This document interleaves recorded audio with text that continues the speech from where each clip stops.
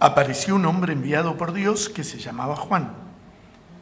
Vino como testigo para dar testimonio de la luz, para que todos creyeran por medio de él.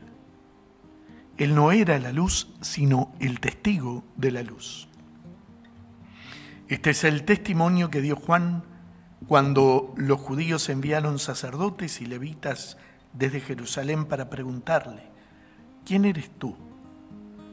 Él confesó y no lo ocultó, sino que dijo claramente, yo no soy el Mesías. ¿Quién eres entonces? le preguntaron. ¿Eres Elías? Juan dijo, no. ¿Eres el profeta? Tampoco respondió. Ellos insistieron, ¿quién eres? Para que podamos dar una respuesta a los que nos han enviado. ¿Qué dices de ti mismo? Y él les dijo, yo soy una voz que grita en el desierto, allanen el camino del Señor, como dijo el profeta Isaías. Algunos de los enviados de los fariseos volvieron a preguntarle, ¿por qué bautizas entonces si tú no eres el Mesías, ni Elías, ni el profeta? Juan respondió, yo bautizo con agua pero en medio de ustedes hay alguien al que ustedes, al que ustedes no conocen. Él viene después de mí y yo no soy digno de desatar la correa de su sandalia.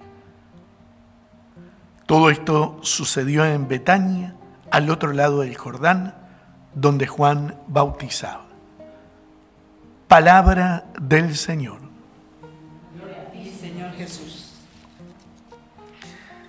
Este domingo tercero del Adviento es el que nos invita a hacer presente la alegría del Señor que viene a nuestro encuentro, esa alegría que nos colma, que nos llena, que nos hace plenos del gozo que viene de Dios. Una alegría que el profeta Isaías dice en estos términos, nuevo de anunciar la misión profética que Jesús se atribuirá a sí mismo en el Evangelio de Lucas, en el capítulo cuarto. Pero termina con estas palabras.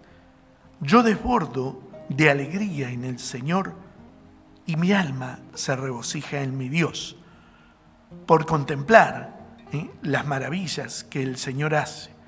Porque termina esta parte de la profecía de Isaías diciéndonos, el Señor hará germinar la justicia y la alabanza ante todas las naciones.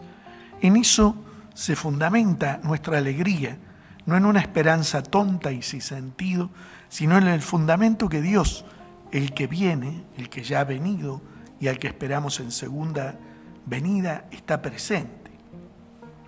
Por eso, tomando el canto de la Virgen, el Magnificat, decíamos en la antífona, mi alma se regocija en mi Dios. ¿Y cuál es el motivo de alegría de la Virgen? Esa alegría que la estremece de gozo en Dios, porque miró su pequeñez, porque miró su humildad, porque Dios se fija justamente en nosotros en ese sentido, reconociendo lo mejor de nosotros mismos, aunque sea poco y pequeño.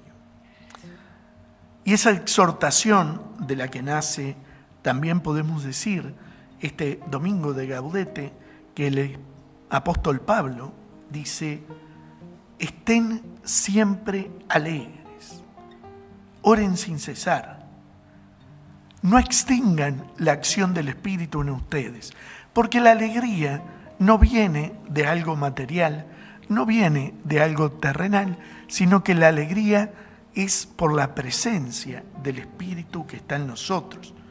Por eso no extingamos la acción del Espíritu. Finalmente llegamos al Evangelio, en el cual Juan, el evangelista y apóstol, nos cuenta del otro Juan, el Bautista. ¿Y cómo lo describe? Apareció un hombre enviado por Dios que se llamaba Juan Tal vez les resuene aquello de la primera anunciación a Zacarías su nombre, le pondrás por nombre Juan. Ese nombre que no será Zacarías como era lo habitual en el primogénito, sino que ya denota una misión. Juan viene como testigo de la luz y deja clarito, yo no soy la luz, yo no soy el Mesías, yo soy el testigo de la luz. Y me conformo con ser una voz que grita en el desierto. En medio de ustedes, sin embargo, hay alguien que todavía no conocen y que es mucho más grande que yo. Ese los bautizará en el fuego y en el Espíritu Santo. Hasta aquí lo que la palabra del Señor nos invita a reflexionar este domingo. Les recomiendo a que a través del CLAM o de otros servicios litúrgicos relean estas lecturas, las cuatro, el profeta, el salmo, también el apóstol Pablo y el Evangelio, porque su riqueza es inestimable y no se agota en estos poquitos minutos que compartimos.